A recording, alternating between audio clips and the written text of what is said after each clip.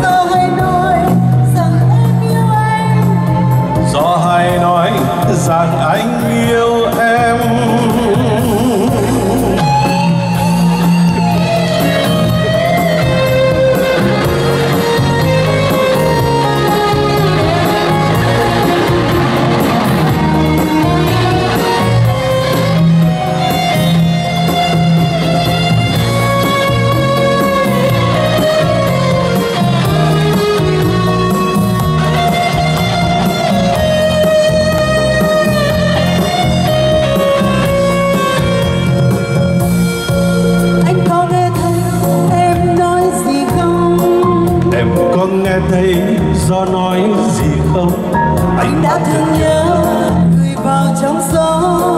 Đôi phút bên anh được nghe anh nói với em.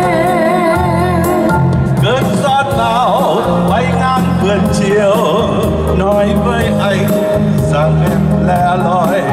Cơn gió nào bay ngang cuộc đời nói với em